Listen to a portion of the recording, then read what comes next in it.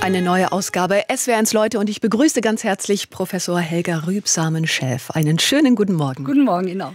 Sie haben eine ganz spannende Biografie. Sie sind Virologin. Sie haben die Virusforschung der, bei der Bayer AG geleitet und Sie haben selbst ein Unternehmen gegründet, das Medikamente zu Infektionskrankheiten entwickelt und in der Forschung tätig ist. Also Sie kennen die wissenschaftliche als auch die unternehmerische Seite.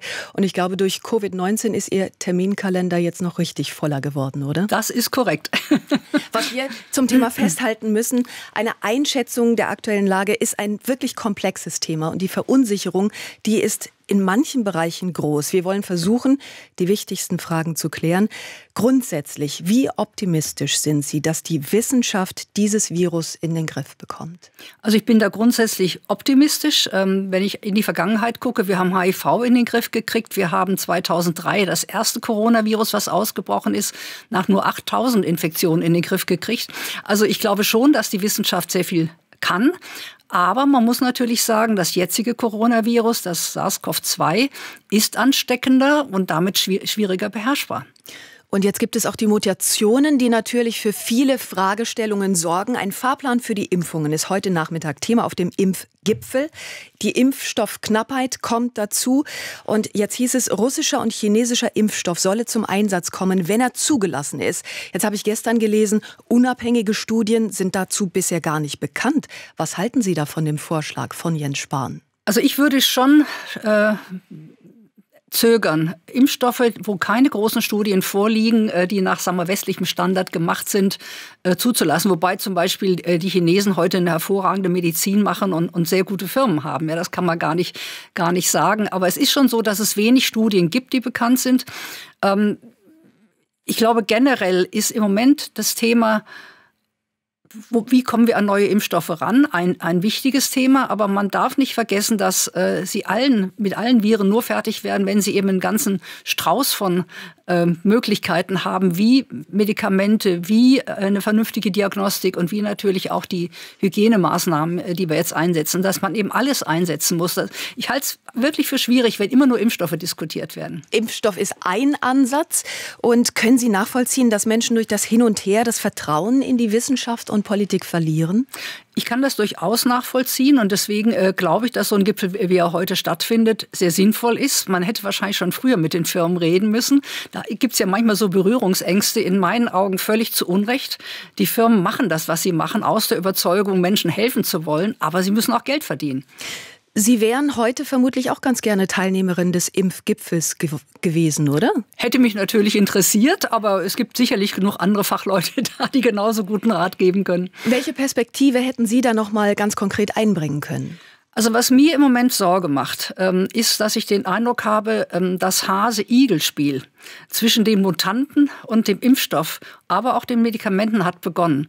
Wenn man sich ähm, das britische Virus, also die britische Mutante anschaut und Sie prüfen äh, bei Leuten, die eine normale Corona-Infektion durchgemacht haben, die Antikörper, dann sind diese Antikörper nur noch ein Drittel so wirksam gegen die Mutante wie gegen den Typ, der Ende des letzten äh, äh, Jahres äh, ähm, begann, um die Welt zu gehen. Ja? Heißt, man müsste also dringend anpassen. Man müsste anpassen und ich denke, das sollte heute heute auch ein Thema sein des Gipfels, was aber dann natürlich dazugehört. Sie müssen auch wissen, welcher Subtyp ist wo.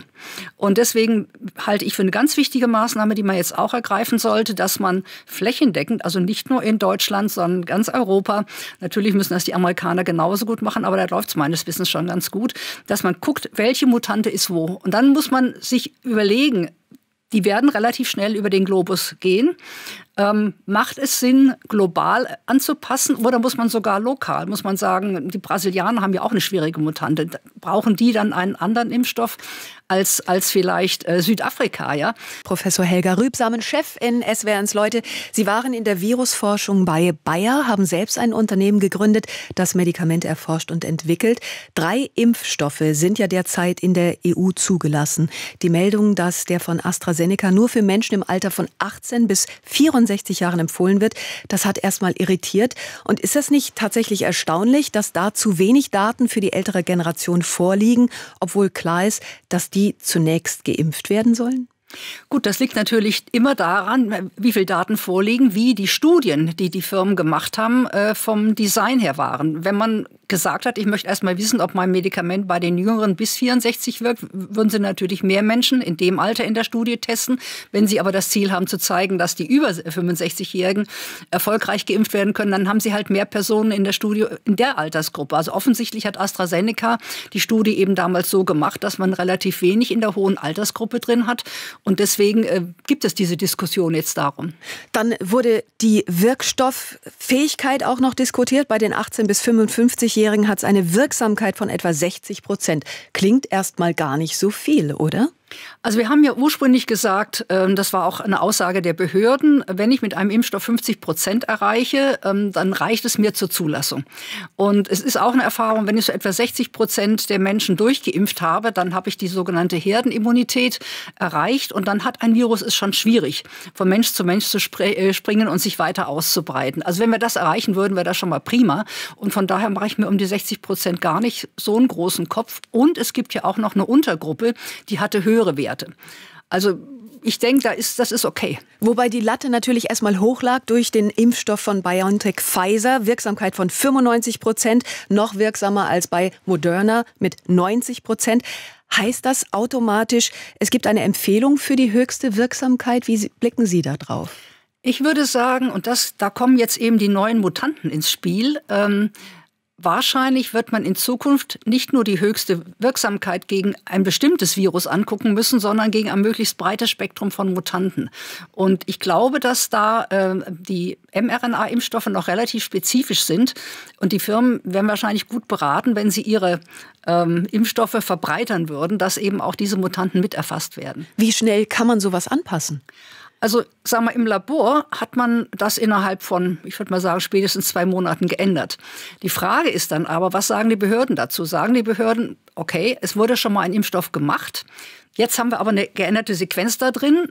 Dieser neue Impfstoff muss noch mal von Anfang an alle Stadien durchlaufen oder sagen die, du kannst gleich in die erste Studie am Menschen gehen und kannst schon mal deine Dosisfindung machen oder sogar sagen, du brauchst keine Dosisfindung zu machen. Äh, du kannst, du kannst gleich in, in höhere Anzahl von Menschen gehen und Erfahrungen sammeln. Also das ist, glaube ich, eine schwierige Frage, die mit den Behörden zu diskutieren ist. Schon gestern erreichten uns viele Fragen der SW1-Hörerinnen und Hörer. Volker aus Letter zum Beispiel möchte wissen, angenommen, es haben sich keine Antikörper nach einer Impfung gebildet, soll man sich erneut mit einem anderen Stoff impfen lassen? Also bei anderen Viren wird das gemacht, äh, zum Teil auch mit Erfolg. Aber man muss auch wissen, wenn ich keine Antikörper habe, heißt das nicht, dass ich gar keinen Schutz habe. Das Immunsystem hat ja verschiedene Wege, uns zu schützen. Und da gehören eben auch äh, Immunzellen dazu. Das heißt, wenn bei ihm keine Antikörper gemessen sind, ist nicht ausgeschlossen, dass er Immunzellen hat, die auch Corona töten können. Aber das müsste eben erst gezeigt werden. Professor Helga Rübsamen, Chef in SWR1 Leute. Jetzt sind viele Kommunen verärgert, da sie auf die schnelle Impfzentren herbeischaffen sollten. Nur mit dem Impfstoff hapert es. War es eine Illusion zu glauben, dass die Pharmakonzerne in dieser weltweiten Pandemie auf ihren Profit verzichten? Also ich glaube, dass man äh, als Firma nie auf Profit verzichten kann, sonst ist man nämlich eines Tages sehr schnell pleite. Äh, ich glaube auch nicht, dass das nur eine Frage von Profit ist. Ich glaube, dass man sehen muss, äh, gerade diese Impfstoffe von BioNTech und Moderna sind ja eine völlig neue Technologie. Die haben ja zum Teil auch diese extreme Kühlung notwendig. Die sind auch nicht so einfach herzustellen. Und ähm, das natürlich je nachdem, welche Länder welche Bedingungen auch an die Beschaffung der Impfstoffe geknüpft haben, dass da vielleicht der eine Lieferant lieber in ein Land geht, wo er zum Beispiel keine Haftungen hat und im anderen hat er Haftung. Äh, das mag auch mitbestimmen, äh, warum eben manche Länder mehr geliefert bekommen haben als andere. Jetzt wurde natürlich über die Verträge erstmal heftigst diskutiert. Europapolitiker Peter Liese war so sauer, dass er ein EU-Exportverbot für AstraZeneca angeregt hatte. Sollten Pharmakonzerne bestraft werden? Was sagen Sie? Ich bin eigentlich gegen solche Maßnahmen. Äh, ich glaube, dass hier, was heute hoffentlich passiert, ein Gespräch mit den Konzernen und der Politik äh, der, der bessere Weg ist. BioNTech will bis zu 75 Millionen Dosen mehr an die EU liefern. Glauben Sie, ist das auch eine Reaktion schon auf diesen politischen Druck, den es aktuell gibt? Glaube ich nicht. Ich glaube eher, dass die Firmen immer versucht haben, so viel Dosen zu machen wie möglich nochmal, wo sie dir dann hinliefern, ja, ob sie lieber in ein Land gehen, wo sie vielleicht mehr verdienen oder wo sie auch weniger Haftungsrisiken haben, das ist dann eine andere Frage. Also ich glaube, dass sie alle versucht haben zu produzieren, was maximal ging. Da wird ja auch diskutiert, ob Entwicklerfirmen eventuell bereit seien, ihr Wissen zu teilen. Denn das würde ja die Herstellung der Impfstoffe beschleunigen können. Das würde das natürlich, aber man darf auch nicht glauben, dass das über Nacht geht. Äh, also wenn ich jetzt als Firma A hingehe und sage, ich kriege die Lizenz von BioNTech, äh, deren äh, Wirkstoff herzustellen, dann muss ich auch erst ein Werk haben, wo ich das tun kann. Ich brauche die Geräte, ich brauche die Mitarbeiter, die geschult sind. Ich muss mehrfach mal diesen Vorgang durchgearbeitet haben und zeigen, er ist wiederholbar, er ist zuverlässig, also das System läuft stabil, bis ich mit so einem Impfstoff an den Menschen gehen kann. Jetzt sind natürlich ganz viele Fragen noch offen, auch bezüglich der Immunität. Bernhard Dietmann aus Freiburg hat uns zum Beispiel geschrieben, ich verstehe das mit der Herdenimmunität nicht ganz. Wenn nicht einmal sicher ist, ob Geimpfte das Virus nicht doch weitergeben können, gibt es doch keine Herdenimmunität. Immunität ist doch eine berechtigte Frage, ne? Die Frage ist sehr gut und sehr berechtigt. Ähm, und dazu muss man sagen, wir wissen noch nicht, ob Geimpfte das Virus weitergeben. Diese Daten äh, sind noch nicht da. Generell wird ja bei der Immunität oder bei der Impfung von einer sterilisierenden äh, Impfung gesprochen, wenn eben das Virus nicht angehen kann und von einer permissiven Immunität, wenn das Virus angehen kann. Und wahrscheinlich ist es so, dass wir hier eine permissive Immunität äh, vorliegen haben, das heißt, das Virus kann angehen, es macht sie aber nicht mehr krank. Wenn das Virus mich aber nicht mehr krank macht, dann ist es wahrscheinlich in den, äh, nachdem es angegangen ist, auch nicht in so großen Mengen vorhanden. Und wenn ich nicht so viel Virus trage, dann bin ich auch nicht so ansteckend. Also ich glaube schon, dass man auch, wenn eine ähm, Infektion möglich ist, aber man wenig Virus hat, dass man dann einen Einfluss auf insgesamt die Weitergabe des Virus hatte ist dann der ja, Bevölkerung. Ne? Ist diese Impfstrategie, die wir haben, dann die richtige Ihrer Meinung nach? Ich glaube schon. Denn wenn äh, 60 Prozent eben schon äh, sagen wir, eine gewisse Immunität haben, nicht mehr so viel Virus verbreiten, sich zwar noch anstecken können, aber nicht mehr so viel verbreiten können, muss das eigentlich theoretischen Einfluss haben. Es gibt viele drängende Fragen zum Thema Impfung. Ellen Mauer-Gies fragt zum Stichwort Vorerkrankungen. Wie wichtig oder gefährlich ist eine Impfung bei Vorerkrankungen? Und gibt es Unterschiede bei den Impfstoffen? Da gibt es sicherlich Unterschiede und ich würde ähm, raten, äh, mit einer solchen Frage an die Ständige Impfkommission heranzugehen. Am besten im Internet mal unter Ständige Impfkommission googeln. Da ist der Vorsitzende der Professor Thomas Mertens und er wird sicherlich irgendwo einen Link geben, wo man dann auch Fragen stellen kann. Also ich glaube, da ist diese Kommission ist der beste Zufluchtspunkt sozusagen, um dann die speziellen Fragen bei speziellen Vorerkrankungen zu diskutieren. Dann trifft die Antwort wahrscheinlich auf die Frage von Frank Kienzl aus Leinfelden-Echterding ebenfalls zu. Er möchte nämlich die Bestandteile der Corona-Impfstoffe bzw. Nebenwirkungen erfahren und sagt, ich habe nämlich einige Vorerkrankungen und reagiere sehr empfindlich auf alle Arzneimittel und das Gesundheitsamt hüllt sich in Schweigen. Schweigen, schreibt er. Ja, aber ich glaube, genau das ist auch so ein Fall, wo man eben, normalerweise wäre es ja so, wenn er jetzt schon zum Impfen aufgefordert worden wäre, müsste der Arzt mit ihm ein Aufklärungsgespräch führen, wo diese ganzen Fragen gestellt würden und diskutiert würden. Wenn er aber noch nicht eingeladen ist zur Impfung äh, und das prinzipiell mal geklärt haben äh, möchte, würde ich auch wirklich empfehlen, da mal unter ständige Impfkommission zu googeln und zu gucken, ob man da Informationen findet. Sie sind ja Teil der Leopoldina, die wissenschaftsbasierte Politikberatung macht. Können Sie uns mal erklären, wie das überhaupt läuft? Es gab da so diverse Ad-Hoc-Stellungnahmen. Werden die dann direkt ins Kanzleramt geschickt? Wie funktioniert es? Ja, sagen wir so, die Idee der Leopoldina, das ist ja die Nationale Akademie der Wissenschaften, wo etwa 1500 hochrangige Forscher, aber aus allen Gebieten äh, zusammenarbeiten. Und da hat man eben eine Untergruppe gebildet, wo Virologen drin waren, Naturwissenschaftler, Mediziner, aber genauso Ethiker und Leute, die aus ganz anderen Perspektiven auf diese Problematik gucken. Und diese Untergruppe hat dann eben Empfehlungen äh, erarbeitet. Und sobald die da sind, werden die auch im Internet veröffentlicht. Ob die noch zusätzlich ans Kanzleramt geschickt werden, weiß ich jetzt gar nicht nicht, muss ich Ihnen sagen. Aber die sind dann sofort auch verfügbar für alle. Jetzt äh, ist es so, dass die Leopoldina zu 80 Prozent vom Forschungsministerium bezahlt wird, zu 20 Prozent vom Land Sachsen-Anhalt finanziert werden, wo die Leopoldina ihren Hauptsitz hat. Da fragt man sich natürlich, wie will die Leopoldina wirklich unabhängig sein? Ach, ich glaube, das ist einfach gegeben durch die Vielzahl von Forschern, die die Dinge aus ganz unterschiedlichen Perspektiven sehen. Also da mache ich mir überhaupt keine Sorgen, dass die Leopoldine nicht unabhängig wäre. Wie blicken Sie denn darauf? Sie haben ja die Perspektive einmal als Unternehmerin, gleichzeitig als Wissenschaftlerin. Sind die Empfehlungen, die von der wissenschaftlichen Seite kommen, häufig strenger als das, was die Politik dann umsetzt? Das kann mal so sein, das muss aber nicht so sein. Und ich glaube, ähm, man sollte immer auch äh, den Aspekt von Firmen dazu nehmen. Also ich weiß ja, dann hat man in Deutschland so ein bisschen die Sorge, äh, wenn ich eben einen Firmenvertreter hat, der hat dann gleich wieder irgendwelche Interessen, äh, die er vertritt außerhalb der wissenschaftlichen Argumentation. Aber ich glaube, es ist ganz wichtig, dass man ähm, eben auch dieses Know-how, wie läuft denn das eigentlich bei so einer Impfstoffentwicklung? Was ist machbar, was ist nicht machbar?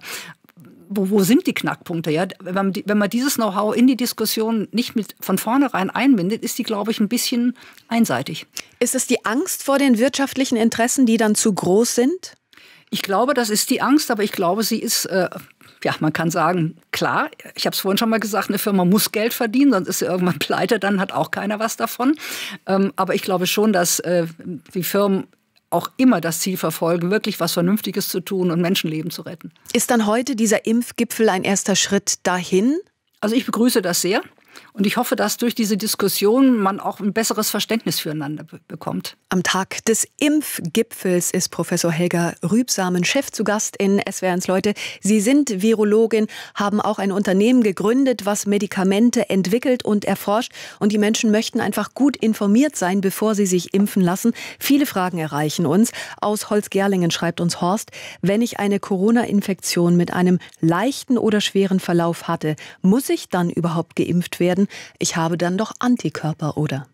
Das ist eine sehr gute Frage. Ähm, wenn jemand natürlich mit Corona infiziert wurde und hat diese Infektion überstanden, dann kann es sein, er hat Antikörper. Etwa drei Viertel der Menschen haben Antikörper, aber es gibt auch eine äh, Anzahl von Menschen, die keine Antikörper entwickeln. Wir wissen aber, dass das Immunsystem noch weitere ähm, Wege hat, um uns zu schützen, nämlich Immunzellen. Es kann also durchaus sein, dass jemand, der keine Antikörper hat, zumindest diese Immunzellen hat. Kurzum gesagt, ähm, selbst wenn ich eine Infektion durchgemacht habe, kann ich mich nicht darauf verlassen, dass ich nicht nochmal überinfiziert werde. Da gibt es genügend Fälle, wo also nach einer Infektion ein paar Monate später nur die nächste gekommen ist. Und der Schweregrad der ersten Infektion hat auch nicht unbedingt was vorausgesagt für die zweite Infektion. Also schwierig einzuordnen. Aus Senden schreibt uns Siegfried Stiesch, ich habe einen Bericht über Manaus in Brasilien gesehen. Darin hieß es, dass 80 Prozent infiziert seien. Das müsste doch eine Herdenimmunität sein. Die müssen die Infektion erstmal überstehen. Und wenn sie die dann überstanden haben, ähm, haben sie dann eine Herdenimmunität, wenn genügend Leute nicht eine zweite Infektion kriegen können. Das wissen wir aber bei diesem Virus noch nicht. Wenn die aber so gut dann nach der ersten Immunität äh, ähm, geschützt werden, dass sie sich nicht so schnell wieder ein zweites Mal infizieren, dann ja, dann hätten wir das erreicht. Aber wie gesagt, ich habe es vorhin schon gesagt, man kann sich überinfizieren, wenn man schon einmal die Infektion hatte. Und deswegen ist diese Frage aus heutiger Sicht so nicht zu beantworten. Und einen Satz stelle ich fest, müssen Sie des Öfteren wiederholen, das wissen wir einfach noch nicht. Wo stehen wir denn aktuell innerhalb dieser Pandemie? Wie beurteilen Sie das? Wir haben sehr schnell die Gene des Virus kennengelernt, aber wir haben erst im Laufe der letzten Monate sehr viel dazu gelernt, wie überhaupt die Krankheit sich entwickelt, dass eben Corona, also mit dem SARS-Coronavirus 2, dass das nicht nur eine Frage der Lunge ist, die infiziert werden kann, sondern dass eine Menge andere Organe angegriffen werden können, inklusive das Herz, die Nieren, die Leber, der Darm. Also das heißt, es kann dann zu einem Multiorgan Befall kommen, der dann eben auch äh, zu den vielen Todesfällen führt. Andere Länder sind schon weiter bei der Impfung. Israel wird da zum Beispiel genannt. Werden dort parallel Studien gemacht, auf deren Ergebnisse wir dann irgendwann zurückgreifen können? Also ich weiß, dass Israel äh, der Firma BioNTech oder den Firmen BioNTech Pfizer versprochen hat, alles, was im Moment parallel zu der Impfung an Studien gemacht wird, diese Daten zur Verfügung zu stellen. Und das ist, äh, wie ich äh, hoffe, dann ein großer Schatz, aus dem wir viel lernen können. Ja, denn das scheint mir aktuell das Wichtigste, um mehr Erfahrungen sammeln zu können, wie wir uns dem Virus stellen können. Was ist mit der Medikamentenforschung? Sie kennen das ja aus dem HIV-Bereich. Ich meine, da haben wir auch bis heute keine Impfung. Wie sehen Sie die Parallelen dazu? Ja, also wie gesagt, bei Corona ist umgekehrt. Da haben wir heute eine Impfung. Wir wissen noch nicht, wie lange sie anhält, wie häufig man sie anpassen muss, ob man alle Jahre einen neuen Impfstoff braucht. Das wissen wir alles noch nicht. Ähm, aber bei HIV war es eben genau umgekehrt. Man hat dieses Virus nur in den Griff bekommen, indem man verschiedene Medikamente äh, kombinierte. Und das hat man dann mit sehr viel Erfolg getan. Sie können heute mit HIV ein normales Alter erreichen. Und deswegen bin ich so dafür, dass wir auch bei Corona, wo wir vieles über den Impfstoff noch nicht wissen, die Medikamentenentwicklung ganz massiv vorantreiben. Ähm, denn erstens kann nicht jeder geimpft werden, zweitens wird nicht jeder Geimpfte geschützt sein. Und für diese Menschen brauchen wir auch eine Lösung. Es gibt auch Menschen, die das Virus leugnen. Haben Sie das damals bei HIV auch erlebt? Ja, das kannte ich damals auch. Ähm, und ich bin einmal in einer TV-Sendung gewesen, wo ich aber den Leugner und seine äh, Freunde nicht überzeugen konnte. Und deswegen habe ich es auch nie wieder gemacht, weil ich mir gesagt habe, man wertet diese Menschen damit unnötig auf. Wie ist das entstanden? Haben Sie dann irgendwann den Schluss gefunden, wie jemand, das war ja, glaube ich, ein hoher Wissenschaftler damals, wie er zu dieser Meinung kam? schwer nachzuvollziehen. Das ist sicherlich psychologisch irgendwie begründbar, aber ich bin keine Psychologin. Ja?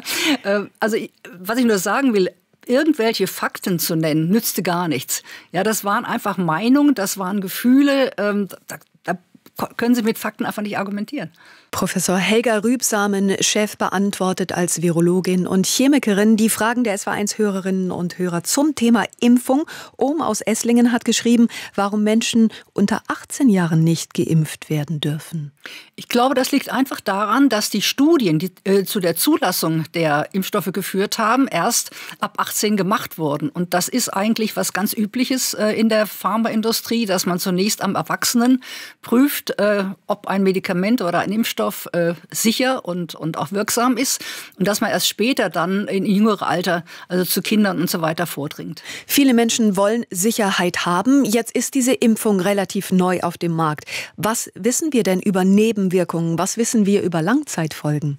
Also was wir mit Sicherheit wissen, ist, dass ähm, die Impfstoffe die klassischen ähm, Impfreaktionen äh, wie Druck, äh, an, der, an der Impfstelle, ähm, vielleicht mal ein leichtes Fieber, ein bisschen Unwohlsein. Das ist alles bekannt und das ist ja auch nichts äh, Ungewöhnliches für jede Impfung, dass man solche Reaktionen hat. Soll ja auch zeigen, dass das Immunsystem reagiert, dass das den gemerkt hat, da ist was zu tun. Ähm, auf der anderen Seite kann es natürlich theoretisch immer extreme, seltene Dinge sehen, die man erst sieht, wenn viele Millionen Menschen geimpft worden sind. Ähm, das kann man theoretisch nicht ausschließen, aber dann sind es ja auch sehr seltene Sachen. Da muss man sich auch keinen großen Kopf drum machen. Ja, eine Hörerin hat uns auch geschrieben, dass sie schon mal einen allergischen Schock hatte und deswegen natürlich sehr besorgt ist. Also inwiefern wird man auch vor der Impfung aufgeklärt? Sie haben das eben das schon mal kurz angesprochen. So. Das ist definitiv so, dass sie aufgeklärt werden müssen. Und gerade was Allergien betrifft, das ist bekannt, zum Beispiel von dem BioNTech-Pfizer-Impfstoff, dass ähm, Leute, die eine schwere Allergie haben, da auch reagieren können. Und das muss dann diskutiert werden, ob man überhaupt diesen Impfstoff dann einsetzt. Aus Berlin hat uns Farad Gölem geschrieben, wie viele Menschen sind durch die Corona-Impfung in Deutschland gestorben? Gibt es darüber Zahlen? Ich habe keine Zahlen. Ähm, ich weiß aber, dass es durchaus Todesfälle nach Impfungen gibt, die diskutiert worden sind. Sie dürfen natürlich nicht vergessen, dass wir als allererstes an die Hochbetagten rangegangen sind. Und die Diskussion, die mir bekannt ist, hat das Ergebnis gehabt, naja, ähm, die wären wahrscheinlich äh, ohnehin in nicht zu ferner Zeit an einem Krebs oder was immer da das Grundleiden war, verstorben. Ähm, man wird das weiter beobachten müssen und noch mehr Fälle sammeln äh, und diskutieren müssen. Aber im Moment, glaube ich, ist sehr stark die Tendenz, ähm, das ist das, was ohnehin passiert wäre. Eine Schlussfolgerung, die wir aus unserem Gespräch, glaube ich, schon ziehen können, ist, dass wir uns tatsächlich an Impfungen weiterhin gewöhnen müssen. Denn durch die Mutationen wird dieser Impfstoff immer wieder angepasst werden müssen. Davon gehe ich heute schon aus. Ähm, wir wissen, äh, dass zum Beispiel, ähm, wenn Sie die Antikörper von Menschen nehmen, die mit BioNTech oder Moderna geimpft worden sind. Und wenn Sie die testen äh, gegen das ähm, äh, britische Virus, dass die dann schon zweifach schlechter reagieren. Also da ist schon ein Unterschied da. Äh, und wenn Sie ähm, die gegen zum Beispiel das südafrikanische mutierte Virus testen, ist der Unterschied sogar noch größer. Also ich gehe davon aus, dass wir die Impfstoffe regelmäßig anpassen müssen. Wie schnell, weiß ich nicht. Äh, bei Grippe ist es einmal im Jahr, dass der Impfstoff angepasst wird. Aber vielleicht müssen wir hier sogar noch schneller werden. Nach dem Stand aktuell, wollen Sie sich da an Spekulationen beteiligen? Jetzt bis zum 14. Februar geht der Lockdown. Womöglich wird er länger andauern. Was glauben Sie? Ich denke, das ist eine Frage, die die Politik äh, beantworten muss. Ähm, und da halte ich mich lieber raus. Eine spannende Biografie haben Sie. Sie sind Virologin und Chemikerin, waren Leiterin der Virusforschung bei Bayer. Und Mitte der 80er waren Sie die Erste, der es gelang, mehrere Varianten der HIV-Virustypen zu finden und dann auch zu charakterisieren. Wie geht es Ihnen eigentlich im Augenblick? Reizt Sie das, da vielleicht auch wieder in die Forschung zu gehen? Na, sagen wir so, ähm, das war damals natürlich eine ganz spannende Zeit, wo man sehr früh gesehen hat, dass HIV ein hochvariables Virus ist. Und äh, deswegen habe ich mich auch von vornherein gegen die Impfstoffforschung bei HIV entschieden. Ich habe gedacht, du, du schießt auf ein so bewegtes Ziel, das kriegst du gar nicht in den Griff. Und bis heute gibt es ja auch keinen Impfstoff. Corona mutiert Gott sei Dank nicht ganz so schnell. Aber natürlich ist es für mich auch unter dem Aspekt im Moment sehr, ja fast aufregend, muss ich sagen, äh, zu sehen, wo auf der Welt jetzt irgendwelche Mutationen hervorkommen, die schon einen Einfluss haben auf die Medikamente, die entwickelt wurden, zum Beispiel diese Antikörpermedikamente von Regeneron und Lilly, aber auch schon einen Einfluss haben auf die Wirksamkeit der ersten Impfungen. Und ich glaube, dass wir hier in so einem Hase-Igel-Spiel sind, äh, wo wir sehr aufpassen müssen, dass wir das nicht verlieren. Das heißt, Sie reizt eher die Medikamentenforschung hinsichtlich Corona, weil wir an Impfstoffen arbeiten, aber Medikamente bräuchte es auch. Verstehe ich Sie da richtig? Ich würde es mal so rumformulieren. Medikamente sind äh, meine Kernexpertise. Ich weiß natürlich auch viel über Impfstoffe, so ist es nicht. Und ich glaube eben, weil wir uns nicht darauf verlassen können, dass die Impfstoffe das Problem hundertprozentig lösen. Und weil ich immer denke, äh, Viren ändern sich. Haben wir gerade drüber gesprochen. Ähm, und man braucht eben dann Angriffspunkte von mehreren Seiten, um so eine Epidemie oder eine Pandemie in den Griff zu bekommen. Und deswegen setze ich mich sehr dafür ein, gerade jetzt auch in Deutschland, dass wir eben mehr tun für die Medikamentenentwicklung. Denn wenn Sie mal annehmen, ich hätte einen Medikamentencocktail vielleicht, wie bei HIV, den man kurz nach der Infektion einsetzt, der drückt das Virus runter, der Patient wird nicht mehr krank und er ist auch nicht mehr so infektiös, weil er weniger Virus hat, dann hat man sicherlich einen Einfluss auf die Todesfälle und hat sicherlich auch einen Einfluss auf die Epidemie. Welchen Einblick haben Sie denn? Wie steht es aktuell um die Medikamentenforschung hinsichtlich Corona? Also da könnte in meinen Augen in Deutschland wesentlich mehr getan werden. Es gibt einige Ansätze für Antikörper.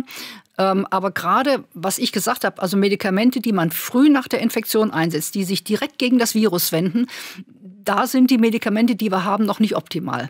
Und äh, das sind zum Teil wie die Substanz von ähm, der Firma Gilead, ähm, Remdesivir heißt die. Das war für ein anderes Virus entwickelt worden geht auch bei Corona, ist aber nicht optimal. Und ich denke, wenn wir da gezieltere, so richtig schöne Kugeln hätten, mit denen wir gezielt auf das Virus schießen könnten, dann kämen wir da weiter. Woran liegt das? Hat die Pharmaindustrie kein Interesse? Wird es von der Bundesregierung nicht so forciert? Ich weiß es nicht. Ähm, ich glaube, aus irgendeinem Grund hat man am Anfang sehr stark auf Impfstoff gesetzt, was ja auch durchaus richtig war. Man hat aber dann so ein bisschen vergessen, dass Viren eben auch durch Medikamente beherrscht werden können und müssen. Und Sie haben jetzt aufgrund Ihrer Expertise die unterschiedlichsten Einblicke. Also wenn Sie jetzt aktuell, stellen wir uns vor, Sie hätten aktuell ein Unternehmen, was wäre Ihr erster Ansatz? Wie würden Sie vorgehen? Ich würde genau diese Medikamente, also kleine chemische Moleküle, ganz gezielt auf das Virus machen. Professor Helga Rüb, Samenchef in SWRs Leute. 2006 haben Sie selbst ein Biotech-Unternehmen gegründet. Wie kam es denn damals zu der Gründung? Ja, zuvor war ich ja bei Bayer die Leiterin der Infektionsforschung gewesen und die Firma hat dann eines Tages beschlossen, äh, die Infektionsforschung nicht weiterzuführen. Zu dem Zeitpunkt hatten wir 13 Projekte, an die ich alle glaubte, die ich für sehr innovativ und pfiffig hielt. Und ich habe dann auch äh, die feste Überzeugung gehabt, und das sieht man ja heute sehr gut wieder mal, ähm, dass in einer globalisierten Welt äh, Infektionsforschung ein Muss ist und dringend gebraucht wird. Und ich habe dann mit dem Vorstand gesprochen und mir wurde gesagt, ja, wenn Sie wollen, können Sie ein Unternehmen gründen. Wir geben Ihnen auch Ihre Projekte gegen spätere Lizenzzahlungen natürlich, die habe ich nicht umsonst bekommen. Aber das Geld dafür müssen Sie selber finden.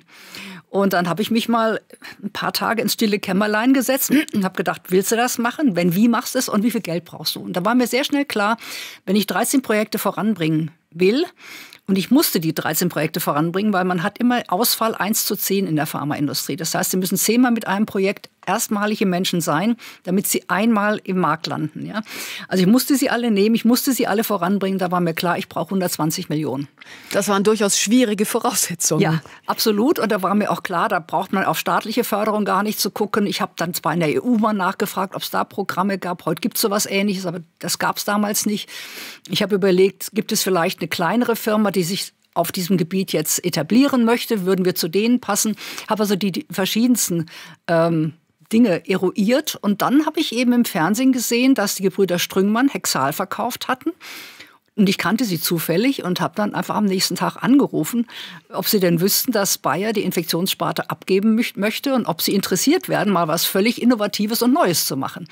Und so kam es dazu, dass sie also auch heute noch äh, zu 80 Prozent Inhaber dieser Firma sind.